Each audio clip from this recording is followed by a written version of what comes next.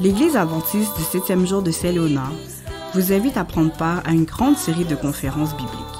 Tous les soirs, du 8 au 28 juin 2024, sauf les jeudis, de 19h15 à 20h45.